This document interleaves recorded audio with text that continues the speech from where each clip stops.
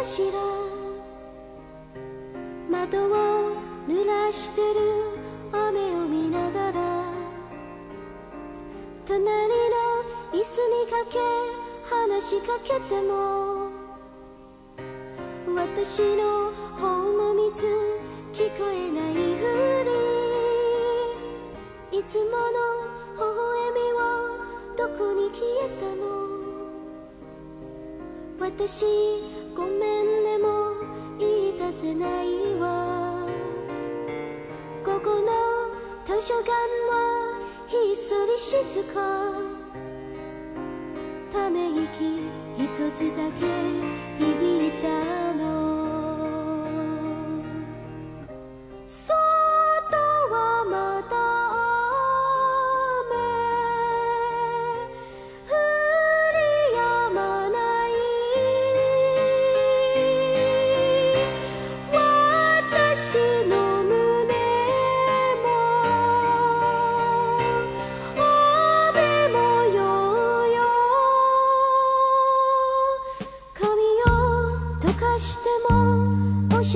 してもとても気になるの。さっきのことは電話しようかな。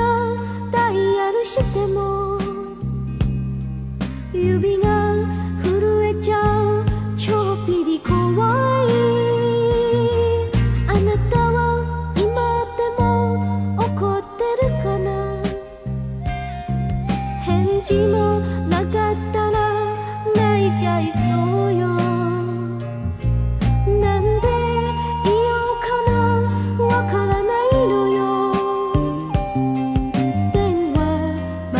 stay.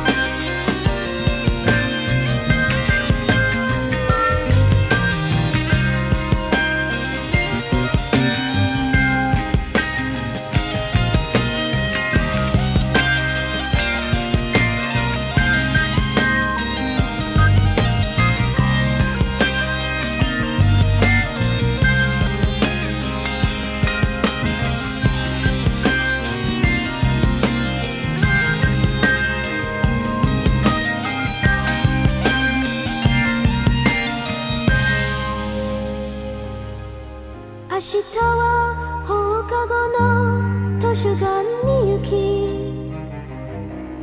いつもの椅子にかけ待っていましょう。虫もまだあなた知らない